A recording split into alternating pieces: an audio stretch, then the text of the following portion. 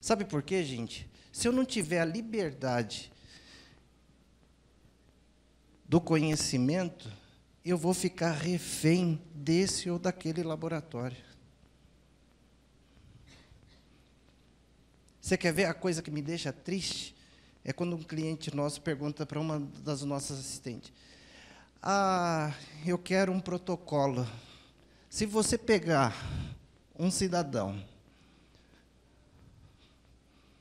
mal intencionado, não vou falar nem mau caráter, mal intencionado, ele vai te enfiar um monte de coisa, vai te dar um protocolo que você vai fazer e você é responsável por ele.